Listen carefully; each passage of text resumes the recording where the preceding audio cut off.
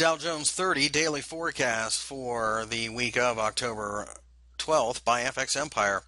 The Dow Jones, as you can see, broke higher during the course of the uh, week, and most importantly, broke above the top of this massive uh, shooting star from like three weeks ago. So uh, it looks like we have broken out, and we are going to continue going higher. You may find it easier off of short-term charts and buy pullbacks. Uh, but really, if we break above the top of the weekly range, that is reason enough to go long for a longer-term buy and hold position.